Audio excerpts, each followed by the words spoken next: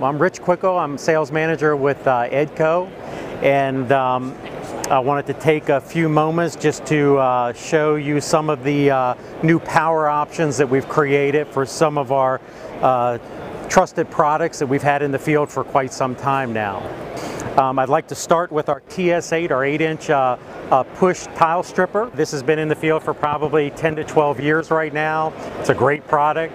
Um, and it's always been powered in the past with a 115 volt, 15 amp electric motor, right? But now what we've moved toward is battery power, all right?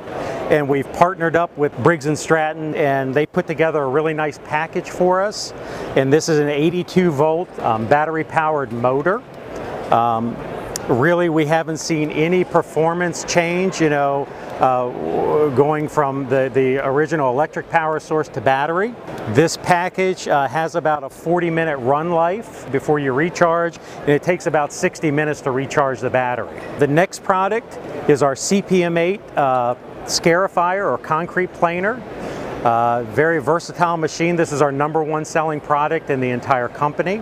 Um, it's had different power options. It's got gas and it's got electric right now, all right? But what we've found is there's a great need in the marketplace for a propane powered uh, scarifier. Um, and we know that because many of these uh, machines have been converted in the field over the years, all right, with a third party type uh, propane conversion.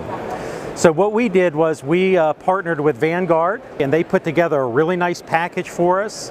And the benefit of this is that we've got a really great engine company standing behind this. So it's not an aftermarket third party type uh, situation. You're going to go, when you need service on this uh, engine, you're going to go directly to uh, Briggs, their service sites, and they're going to take care of this, uh, you know, this for you, all right?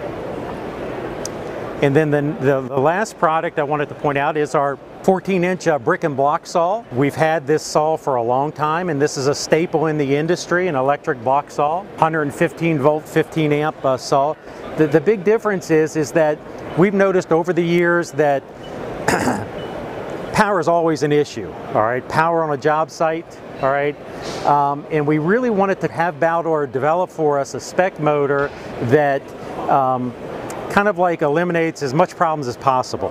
And they came up with this spec motor, we're calling it our breaker saver. We wanted to make it as foolproof as possible um, to not have any electrical type issues with it. So it's designed, like I said, specifically for us. It is a breaker saver, just like the name indicates. You know, you're not going to get a lot of breaker trips, all right?